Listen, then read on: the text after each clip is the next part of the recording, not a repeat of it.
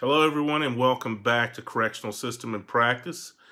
We're in week five, chapter six, the correctional client, and chapter seven, detention and incarceration.